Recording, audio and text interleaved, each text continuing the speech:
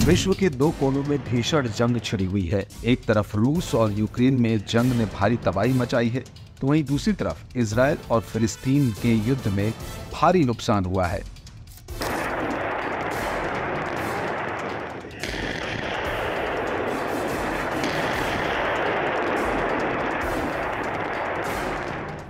अब एक और देश जंग की ओर बढ़ता दिखाई दे रहा है, जहाँ चीन ने ताइवान की चारों तरफ़ से घेराबंदी कर ली है। आशंका ये जताई जा रही है कि जून की शुरुआत में चीन ताइवान में घुसपैठ कर सकता है। चीन के इस मिलिट्री ड्रिल के चलते ताइवान में मौजूद अमेरिकी स्पेशल फोर्सेस हाई अलर्ट पर है।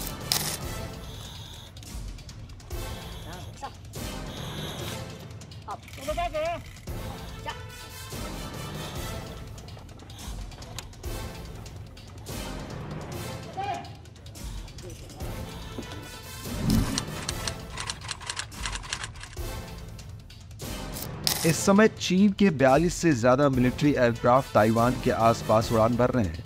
इनमें से करीब 28 ने मीडियम लाइन को पार भी किया है। चीन ने ताइवान के चारों तरफ़ 15 युद्धपोत 16 कोस्ट गार्ड शिप तैनात किए हैं।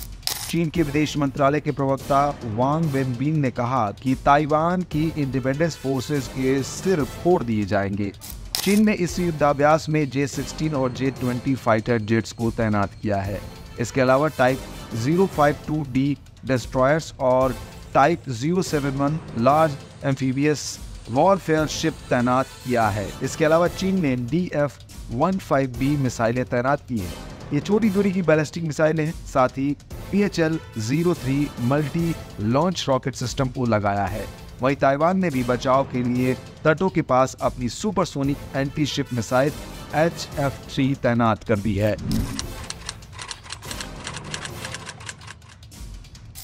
ये खास तरह के एयर डिफेंस सिस्टम है जो दुश्मन के जहाजों, मिसाइलों फाइटर जेट्स हेलीकॉप्टर को आसमान में ही मार कर गिरा सकते हैं।